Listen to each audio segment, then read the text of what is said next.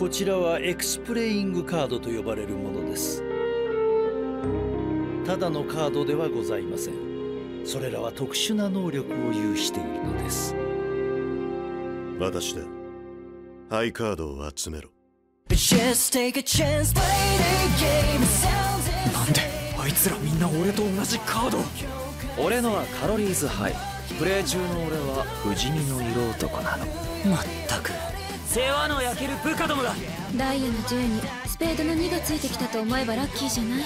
そんなピンチになってる時点で活躍したと言えるのでしょうか？ビギナーズラックってさ本当にあるんだよな。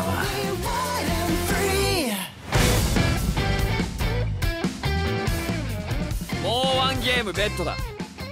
プレイネオニューナンバー